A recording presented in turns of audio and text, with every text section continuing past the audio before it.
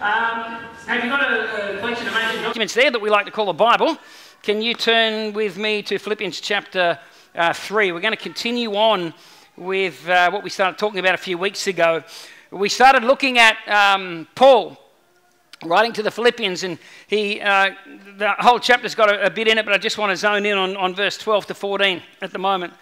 And Paul writes this he says, Not that I've already obtained all this. He's gone on and he's talked about his one thing. And, and Paul's one thing was his relationship with Jesus. His one thing was to know Christ and the power of his resurrection and the fellowship of his sufferings being conformed into the image of his death. This, this is Paul going, this is my one thing. This is the, the ultimate goal of my life is I just want to know Jesus. Anyone share Paul's goal this morning? I just want to know Jesus. I've done a lot of other things and they just leave me feeling empty. I've known a lot of answers to problems that I thought were the answers, and they ended up not being the real answer. I, have known a lot of theories, I've known a lot of speculation, I've known a lot of people's opinions and ideas, but at the end of the day, the only thing I know that actually genuinely helps me, brings peace, self control, the fruit of the Spirit into my life is, is knowing God. Amen? is knowing and experiencing God. So Paul's very passionate about that. So passionate, in fact, that he uh, had his head removed uh, because he would not deny. In fact, all they really had to do was to deny and go, ha ha ha, gotcha. Been talking about this Jesus guy for years, but ah, just kidding, you know, and turn around and walk away. But these guys would not deny the reality of what they had seen, experienced, and heard that Jesus Christ was crucified on a cross, buried, and resurrected, and they saw him resurrected, and they went on. And because of that, you and I are sitting here today, and there are literally billions of people around the world that are going to be worshiping Jesus still 2,000 years after his crucifixion, all because the original witnesses saw it and were so convinced of that reality that they would not deny it even to the point of death. That's pretty amazing. That's pretty amazing. And that's why we're here today. And Paul was one of those guys that was so convinced. And so Paul says this in uh, Philippians chapter 3, verse 12, 14. He says, Not that I've already obtained all this. I'm not, I'm not there yet. I don't know Christ the way I want to know him yet. I haven't quite got there, but I'm, I'm going after it. I'm chasing it. He says, Not that I've already obtained all this or have already arrived at my goal, but I press on to take hold of that for which Christ Jesus took a hold of me. I was saved from something, but I was saved for something as well. He's saying, I was saved from this, but I was saved for something. Christ took a hold of me for a reason. There's a purpose and a reason. He says, and I press on to take hold of that for which Christ Jesus took hold of me. Brothers and sisters, I do not consider myself yet to have taken hold of it. And then he says this, but one thing I do. There's one thing I know. There's one thing that I can unequivocally tell you is true. There's, I mean, I've seen, he says, I've seen healings and miracles. I mean, this is a guy that's preached and written letters and been imprisoned and, and, and, and you know, uh, seen all kinds of signs and wonders and miracles. He says, but there's, there's, if I nail it all down, he said, there's really one principle, one thing in this Christian life that I guarantee beyond a shadow of a doubt that I know that I've learnt through all of this journey. And he says this this is the one thing that I know. He says, forgetting what is behind and straining toward what is ahead, I press on toward the goal to win the prize for which God has called me heavenward in Christ. He says, I forget what's behind. I'm forgetting what's back there and I'm straining towards what is ahead. There's something up there, and he says, I'm straining towards that. He says, I'm pressing on toward, not pressing back, I'm pressing on toward the goal to win the prize. The ribbon's up there, I'm running that way. I want to run through that ribbon. I want to win that prize because God's called me to that. He says, One thing I do, he says, I forget what's behind me. I forget what's behind me. So many believers have stopped moving because you can't forget what's behind you. You're still looking at what's behind you. We're still hanging on to what's behind you, and what's behind us is hanging on to us. We're linking arms with it, and it's slowing us down, pulling us back from everything that God has for us to become and everything that God has called us forward to do. And so a couple of weeks ago, we looked at forgetting past sins. And I don't want to rehash and go over that, but we looked at letting go of things. There's stuff that people have done in the past. And we know we're forgiven. And we know that the blood of Jesus washes us. We know that, but we still feel the sting of that. And we still look back at that. And we kind of still hold ourselves back to that. And we've got to just let go.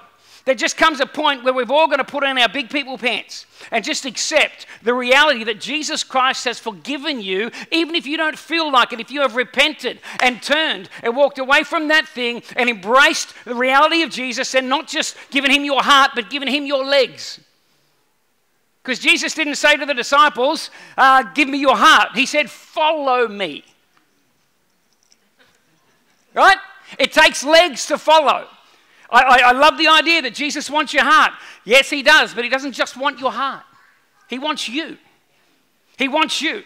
He wants to lead us down a whole new way of life because we've been living this way, because we've been brought up this way, our culture's this way, our family's this way, society says this way. And then Jesus comes along and goes, Well, I'm going to flip the whole thing around. See, the early church, it says in the book of Acts that the early church, uh, they went to a particular town and the townspeople said, Those guys that have turned the world upside down have come here. In other words, they were doing things very different, weren't they? They were living a flipped lifestyle. It was, they flipped the whole thing up and they were living and walking a different way. They were walking a different way. And that's what we're called to. But for some of us, we struggle to do that because we can't let go of the past. And so we talked about letting go of sin last week. This week, I want to move on to another thing that I think we need to let go of. And I'm a little bit trepidatious with this because I, don't want people to think I'm being heartless. Everybody who's a regular at Arise here, you do know I have a heart. Good, good, because I do have a heart and I love people. But I, I, sometimes we need a nudge, don't we? Sometimes we need a little bit of a shake. It reminds me of shake and bake, Talladega Nights, anyway. Forget the bake, we just need a shake. Sometimes we need to be stirred up a little bit. Jesus didn't mind. Uh, uh, uh, I think sometimes there's this, this thing called, uh, uh, what's it called? Moralistic therapeutic deism. Anyone ever heard that term? Moralistic therapeutic deism. It sort of made its way into the church in the early 2000s. Uh, particularly in the, in the culture of young people and youth ministry. And it, it basically turns the whole Christian message into you just need to learn to be good. God just wants you to be good, and if you're good, good people get into heaven. And so the goal of Christianity is to make you good and to make you ultimately happy.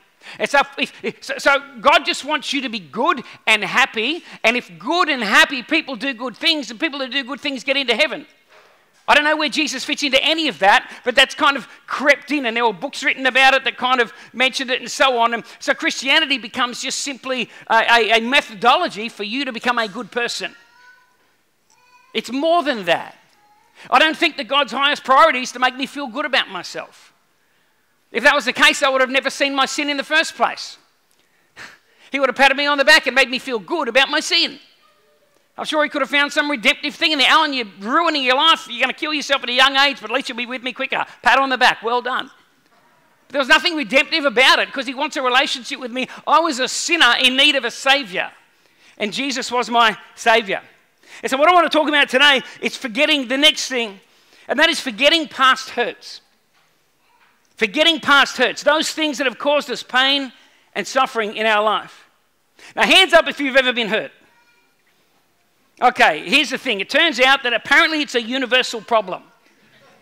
Go figure. I don't care if you live here or in another country, whether you're old, young, whether you're rich, whether you're poor, whether you're popular, unpopular, whether you speak in tongues or you don't even believe in that stuff. Guess what? Apparently, we all get hurt. Isn't that amazing? Isn't it amazing? It's just mm, something within humans that, that gives us the capacity not just to experience great joy and love and, oh, isn't this wonderful? But at the same time, at the other end of the spectrum, we can experience pain and disappointment and hurt. And it's a part of life. It's a part of life. I dare say this, it's an unavoidable part of life. And when you come to faith in Jesus, how many, here's another mind bender. When you come to faith in Jesus, since being a Christian, how many of you have been hurt or disappointed? What? You're telling me that the new creation, apparently we are, still gets hurt and offended? Yes, it does. Yes, it does.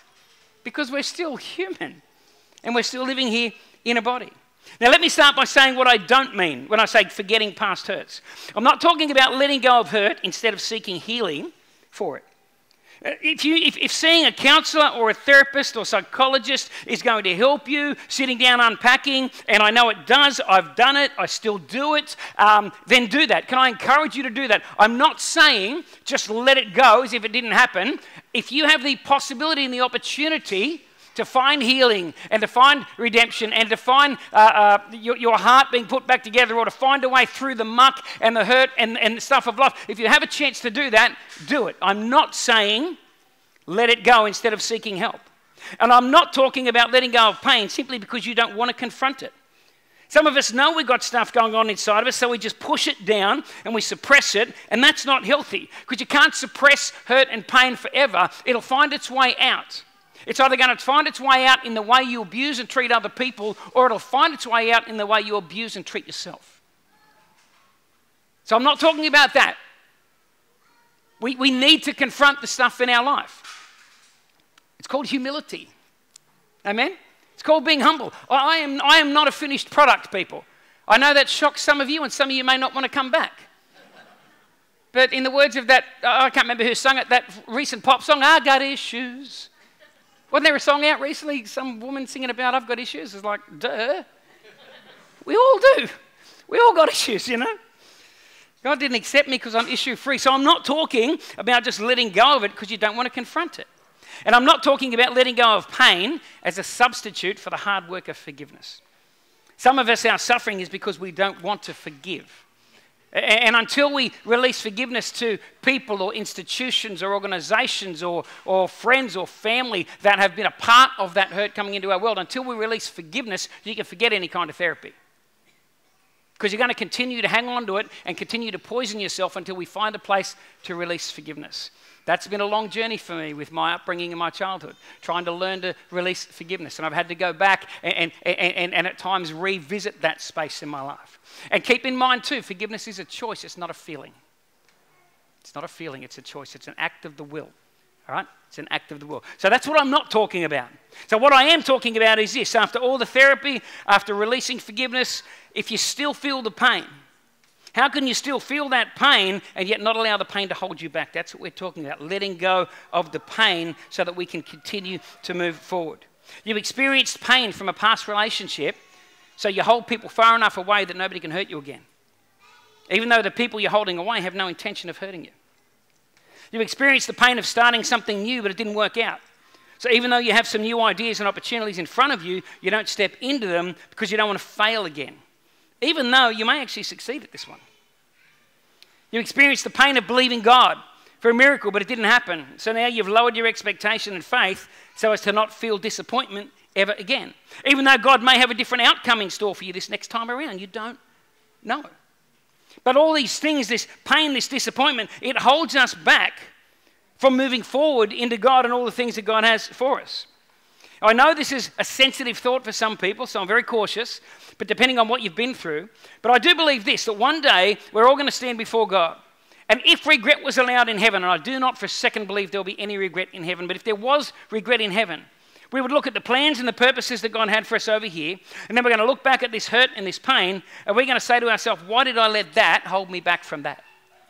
Why did I cling so tightly to that as if that was the, the, the, final moment, the end game of my life, and it kept me back from so much more that God had for me here? If there was such a thing as regret in heaven, I believe many of us, when we get there, we'll look and we'll go, I cannot believe that I fought so hard to hang on to that. Or that I didn't take the courageous step of letting go of that. Or I didn't want to do the hard work of dealing with that when all this was on offer from God. When all this was on offer from God. So you don't have to look very hard to see that we live in a world where people actually believe it's possible to create a life where nobody gets hurt, nobody gets offended, no one's disappointed, nobody's ever misunderstood, nobody gets rejected, we're never ridiculed. We actually believe in it so much that our governments are trying to legislate it, aren't they? They're trying to legislate anything that may offend you, you can't say it anymore. So we'll legislate it out. Why can't you say it? Because it might offend somebody, it might hurt somebody. Somebody might be saddened by it. Somebody might be disappointed. And so we're trying to legislate anything out of society that could possibly offend or hurt or cause rejection or whatever, as if being offended, hurt, or rejected is the worst thing in the world that could possibly happen to you. And as if there's no positive or redemptive aspect to any of those things as well. It's crazy. Uh, I, I, come across this quote once and it kind of sums it up a little bit. I couldn't find who said it.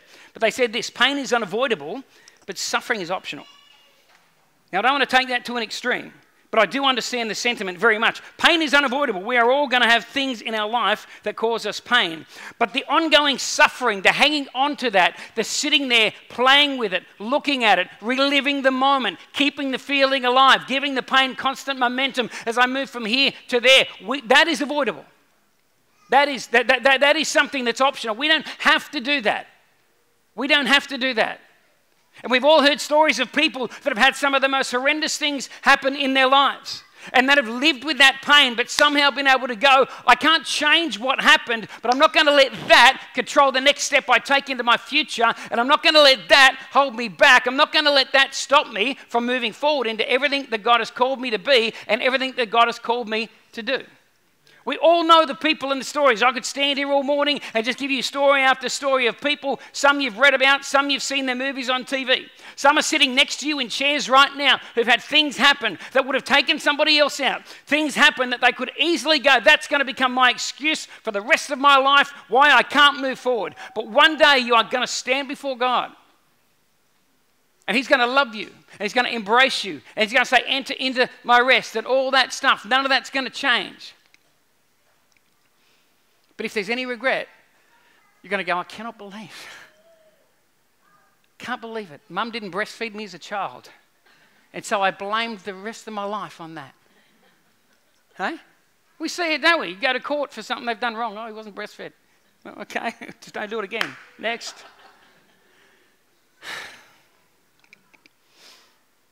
I didn't have a great. I, I, my father was present but absent. Wasn't the greatest dad in the world. So that's my excuse now. I'm going to, all my four kids, I'm going to tell them, don't you get dirty at me, blame your pop. It's all his fault. If he had been better, I wouldn't have been so stuffed up and so. I can use that as an excuse, but I chose at some point in my life, I'm not going to use that as an excuse. I'm just going to try to be the best dad I can. I'm going to be imperfect at it, but I'm going to try to do the best I can. I'm not looking back at that. I'm not going to use that as a reason why I can't. I'm not going to use that as a reason why I can't be a great mother. I might, might not be a perfect mother, but I'll tell you what, I'm not going to use that as a reason why. Every time I slip up or do something wrong, I'm not going to turn around and go, well, you blame black. Now I'm going to take responsibility and go, you know what, yep, my bad, I shouldn't have done that, da, da, da. please forgive me, let's move on. I'm not going to use all these things in my life as excuses why I can't move forward and become what God wants me to become and do the things that God wants me to do. Pain is unavoidable, but suffering is optional. Uh, uh, 1 Peter chapter 4, verse 12 and 13, uh, Peter writes this, and uh, he says, he says, Dear friends, he says, do not be surprised at the fiery ordeal that's come on you to test you. Fiery ordeal, I'm going to say that doesn't sound good. Amen? Whatever it is, he's talking about persecution here in this context, but I would say that fiery ordeal means something, this thing that's coming against you right now doesn't feel good. In other words, it's probably quite painful. And here's what he says He says, even though this uh, fiery ordeal, this thing has come against you, he says, Don't be surprised because pain happens, people. Don't be surprised. Pain happens. And when it comes, if this, this has come and it's testing you as though something strange were happening to you. It's not strange. Pain is inevitable. It's not a strange thing, people. When you get persecuted for your faith, it's not a strange thing. When you get rejected, it's not a strange thing. If somebody doesn't like your opinion, it's not a strange thing. If somebody doesn't like your theology, it's not a strange thing. If somebody doesn't like the way you dress, it's not a strange thing. If somebody doesn't like the way you talk or the food you eat or the way you do your hair or how many nose rings you got, it's not a strange thing. Okay? People just, we're like that. We're humans. And sometimes we don't like things and that's okay. And sometimes we re- get rejected and that's okay. He says in verse 13, but rejoice in as much as you participate in the sufferings of Christ so that you may be overjoyed when his glory is revealed. Here's what he's saying He's saying that in their situation, the fiery ordeal was persecution for their faith. And he's saying this the pain of persecution is unavoidable, but the suffering is optional. Rejoice instead. Rejoice instead. I know it's tough. I know it's hard. Can you imagine writing that to a bunch of people that are suffering this kind of persecution and saying, hey, I know, I know, I know they're about to feed you to a lion, but hey, just rejoice. I think there was a conviction about what they were saying. There was a conviction about the fact that pain is unavoidable, but suffering can be optional. I don't want to spend the rest of my life suffering and miss the beauty of today and the joys that are there for me tomorrow and the great relationships that are going to come up in front of me because I had a bad one once. The person that betrayed me, the person that, that, that, that, hung me out to dry, because of them, I don't want to get to know you or you or you or you or you. And I miss out on all these great things because I'm hanging on to some kind of pain or hurt from the past and it's stopping me moving forward. It's stopping me moving forward. Like Benjamin Button, you're getting younger and shorter, and I don't even know if that fits, I just want to say it. In fact, you can sum up the entire book of 1 Peter in this sentence. Peter says to them, Look to the future in order to get through the present. Look to the future in order to get through the pain and the suffering of the present. You see, we live in a church age today, unfortunately, where we're buying into the same ethos. This is where I want to go. Every pain, every hurt, every disappointment can and will be totally healed this side of heaven. So we end up spending our time and energy seeking inner healing from our past, which I agree with, we need to go after it, instead of following Jesus into the future. Hear what, hear what I'm saying? We, we, we spend so much time and energy seeking inner healing from our past and sitting in that thing, seeking inner healing year after year, month after month, instead of following Jesus into the future. What if you don't ever get complete healing? What if the pain and the ping and the pang of that particular thing doesn't go away for you? Are you going to just sit there for the rest of your life? We've turned, we've turned the, the, the mission of Jesus in our life into pure inner therapy. It's just all about making you happy and making you do good things and making you feel good. And so if you're not feeling happy and you're not uh, uh feeling good and so on, then just, just, just sit there and spend your whole life in therapy and getting therapeutic books and self help books and make yourself feel good about yourself and so on. Meanwhile, the kingdom of God is advancing and God is doing things.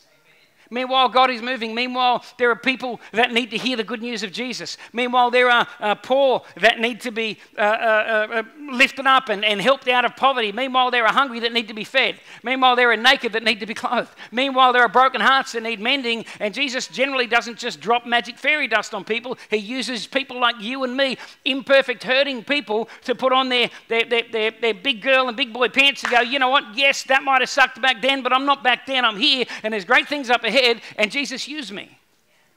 Jesus used me.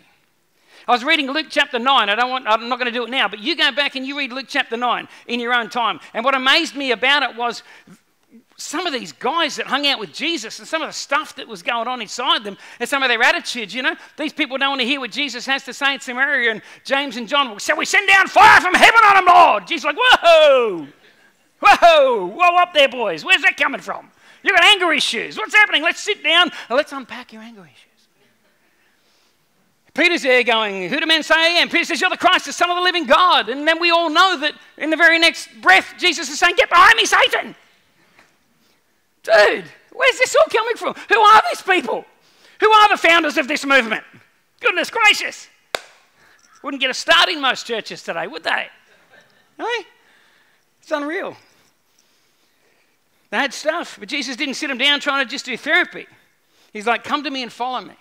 Sometimes the healing's found in the following. The healing's found in the movement, not in the sitting. And we just want to sit. I just want to stay there, and God, you make me better. And God says, you know what? You want me to make you better? Come walk with me. Let's, I'll, I'll talk to you, but we're going to walk and talk. Amen? We're going to walk and talk. Jesus says, I'm not sitting on a couch next to you and staying in that place with you. There's too much great things up ahead for you. So if you really want my help, here's what you're going to do. I'm not going to stop and sit where you are. You're going to get up and you're going to start walking with me. You're going to follow me.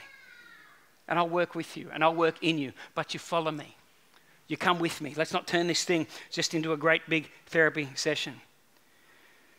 And it's creeping into the church. Unfortunately, it's creeping into the church. We're trying to create a world where we can shield people from pain, suffering, rejection, disappointment, etc what we're actually doing is we're actually stunting one of the, the growth of one of the most important uh, things inside of a human being, and that is this thing called resilience. We're stunting resilience. We're taking away any, any form of resistance, because if you take away resistance, people don't go strong, do they? Why do you think, why do you think I'm so buff? I go to a gym, don't I, Camo? Hey? I even do my legs. Do you, Camo? hey? You don't grow strong without resistance.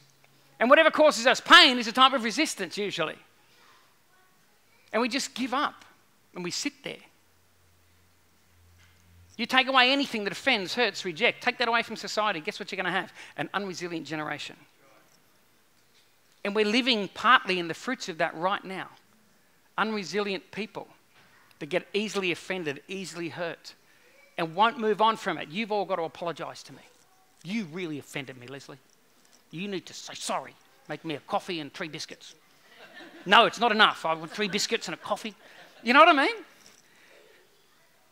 Instead of, okay, look, you, know, when, when, I got saved, I had a, a, really, I had a troubled relationship with my mother my whole life. And I remember getting saved at 19 in Ballina.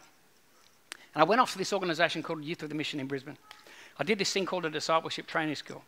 And while I'm there, the Holy Spirit begins to speak to me and says to me, You know, Alan, when you were young, you were a bit of a bugger and you, you, you, you, you stole money. I used to go to my mother's purse and steal money. I didn't mean to, well, that's not true, I did mean to, but I didn't know what I was doing. I was a kid and I was unsaved. And I...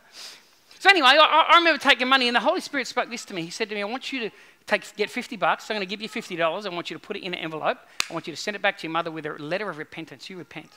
My mother's not a believer. My, my family are not Christians. I didn't come from any background to do with anything to do with church. So, I, but I did it. I love God, and so Jesus said, "Follow me and do this." So I said, "Okay." Wrote the letter, put it in, put the fifty bucks in, sent the letter off to my mother. And this was back before email and all that jazz. You actually had to write with these things called pens on this stuff called paper. And you had to fold it and put it in these little things called envelopes and put these little things called stamps on it and drop them at this little place called a post office. And then they would take their time to get it to the other side of the. And then, and then anyway, I get this letter back from my mother, and i will tell you what, I was so excited when I saw that envelope from my mother. I thought, this is going to be such a great moment. She's going to, you know, she's going to uh, apologize and she's going to say, you know what, Alan, no, no, you weren't that bad. It was really me. I wasn't a great mother, blah, blah, blah. We're going to have this beautiful moment of reconciliation. It's going to be awesome. And I opened up the letter, and mum goes, oh, yeah, thanks for the money. You really were a bit of a brat, weren't you? And I'm like, what? this is not how it was meant to happen. You know? What am I going to do? Am I going to get offended at that? Am I going to go right back where I was? Am I going to sit back down here and not move forward? the Holy Spirit said, That's okay. Move on. Let it go. You've done everything you can to make it right. Let it go. Move on. Come on, let's keep walking. And years and years and years of walking with him, I can gladly say today now, while it's still not completely restored, me and my mother have a fairly decent relationship now. It's a great thing. It's a great thing. The word resilience in the Oxford Dictionary means this it means the capacity to withstand or to recover quickly from difficulties.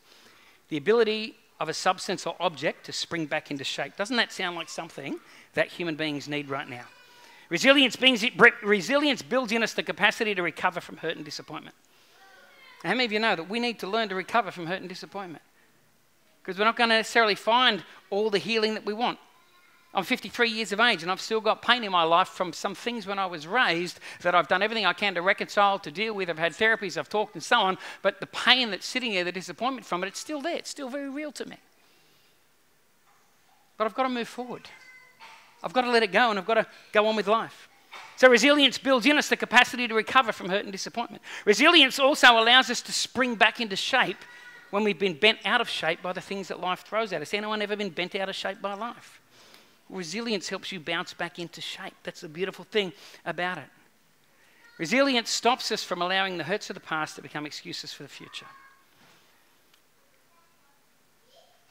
See, I believe that God can heal every hurt. I believe that He can. But my experience is He sometimes doesn't. I believe that God can right every wrong. I believe He can, but my experience is that sometimes He hasn't. I believe that God can restore everything. But my experience is that there are times where He doesn't. And I don't know why. But I do know this God's good. Amen? I know that God's good. And I know that life's a gift. And I know that He wants me to keep moving forward. I know that He's calling me onwards and upwards. I know that He's still conforming me. I'm a work in progress. I haven't quite made it yet, like Paul. Not that I've arrived, not that I'm there yet, but I'm pressing on. I'm pressing on and I'm moving forward. I'm moving forward. I might get the musos back up. We're about to finish up. Got a whole bunch of other things here that I'd love to share, but there's this dude by the name of Mephibosheth. Anyone know Mephibosheth in 2 Samuel? Mephibosheth from Lodabar. And no, I'm not speaking in tongues, it's a real man, a real place.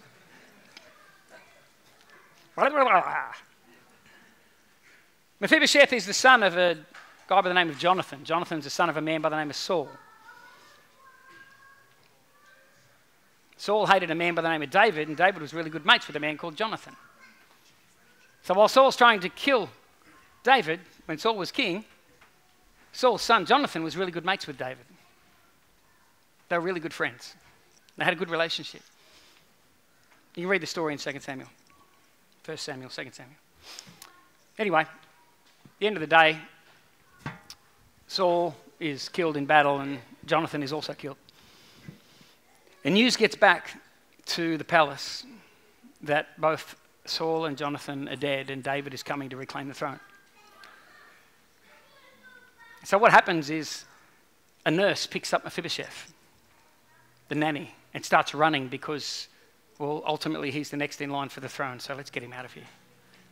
It says that Mephibosheth gets picked up, and the nurse starts running, and the nurse trips and drops Mephibosheth and breaks both his legs.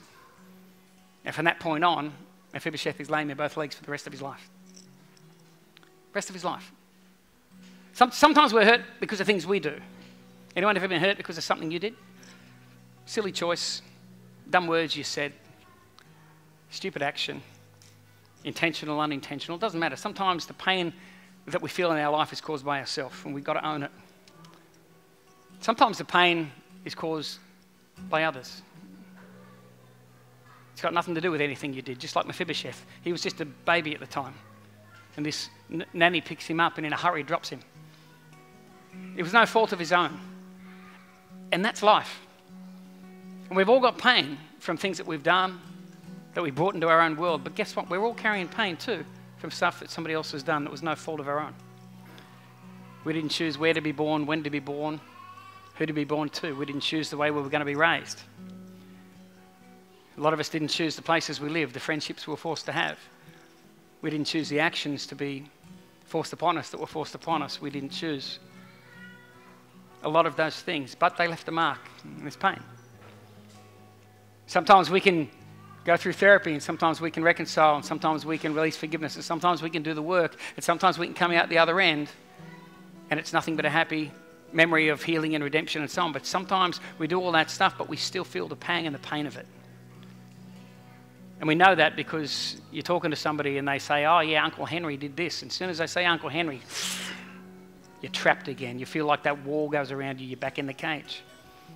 You're going, God, do I have to live with this for the rest of my life? Like, I can't go there. I can't do this. I can't say that. I can't be with these people. I can't open myself up to this possibility. I can't accept that opportunity, that invitation. I can't, I can't, I can't, because we're trapped, because we're still being held back by some pain and some hurt from the past.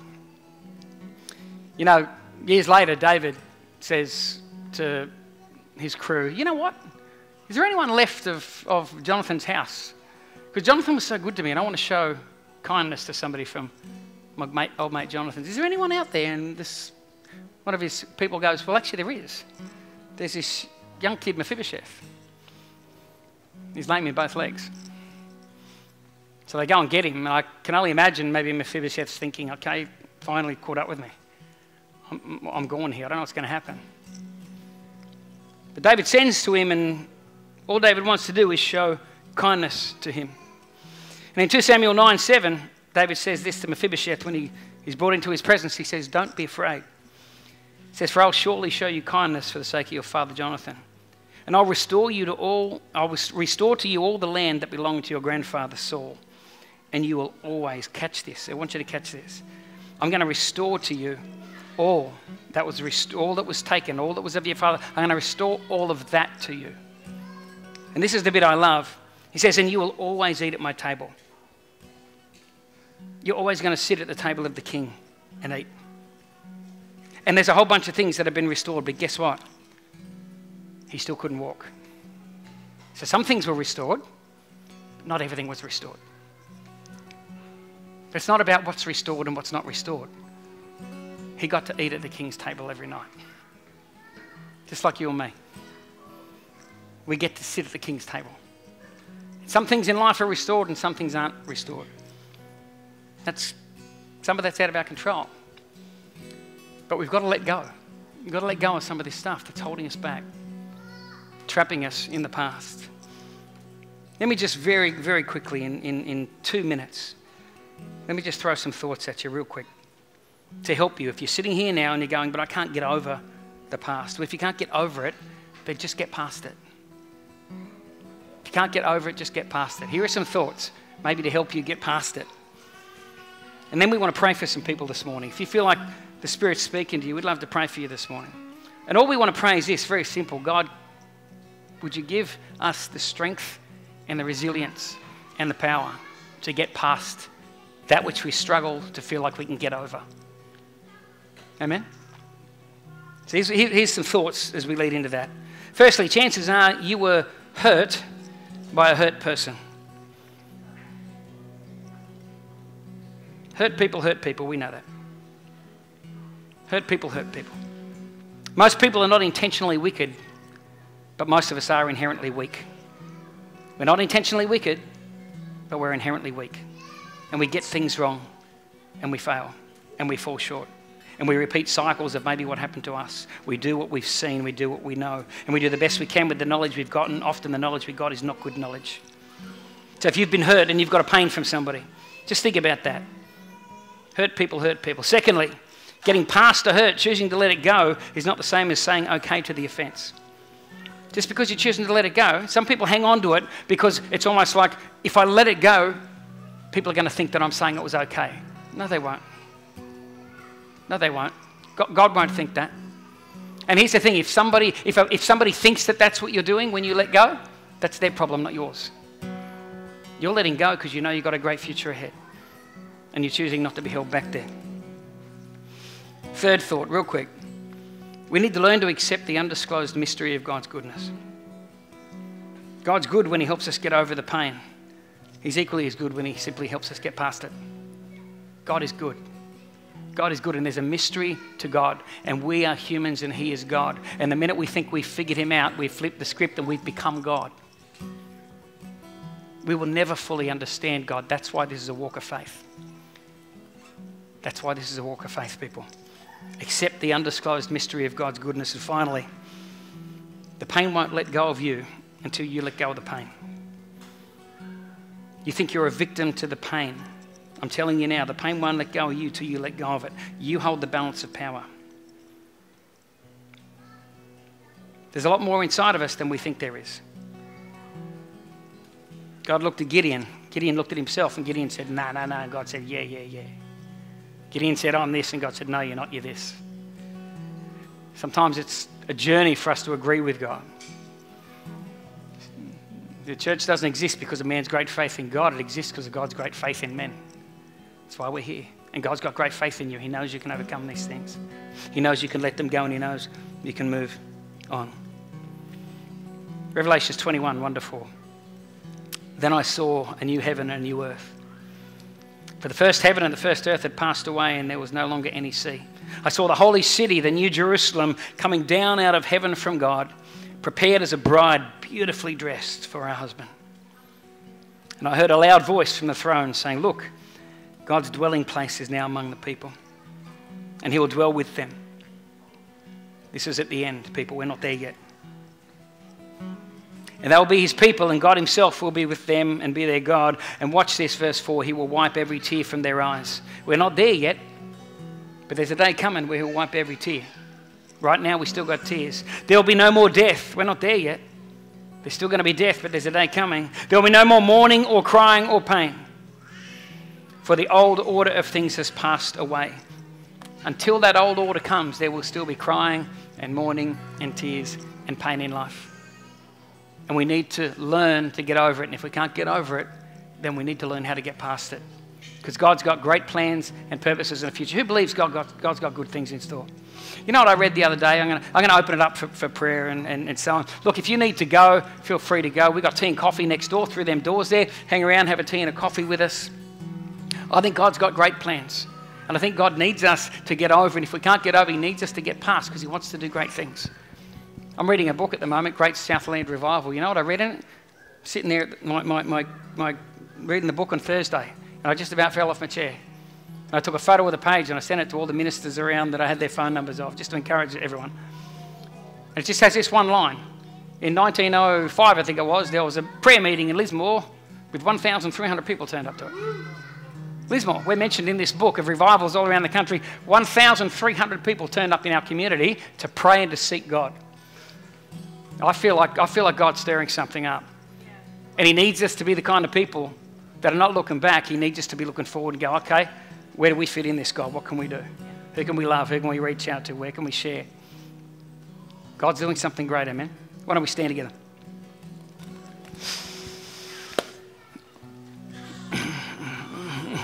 I'm going to pray for us. These guys are going to lead us in a bit of worship.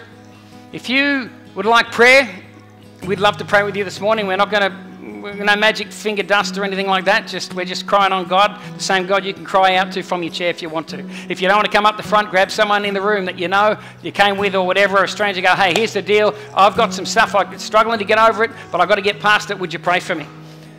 So if you want to come forward for prayer, we'd love to pray for you. If you want to pray for one another, do that. But I just want to open up the front and let's pray. Let's push back on some stuff. Let's make some decisions and some choices by the power of the Holy Spirit in our lives this morning to keep moving forward, to press on, to go after, and to let go of some of the stuff that's been holding us back for way, way too long. So, Father, we thank you for this morning, Lord. We pray, God, for each person in this place. I pray, Father, as we leave this place this morning, that God, in the next seven days, would you give everyone in this room, give us an opportunity to share your goodness with somebody out there, God. There are people out there that don't know you. There are people out there that are bound, that are in prisons, God, need doors open, need chains broken. There are people out there that need to hear they are loved, that there's a God in heaven that has grace and mercy and compassion for them, God. And who else is going to tell them or show them or lead them if your people don't? So, Father, every one of us in this room that call on your name, would you give us a divine opportunity in the next seven days to share the goodness of God with somebody else? Out there.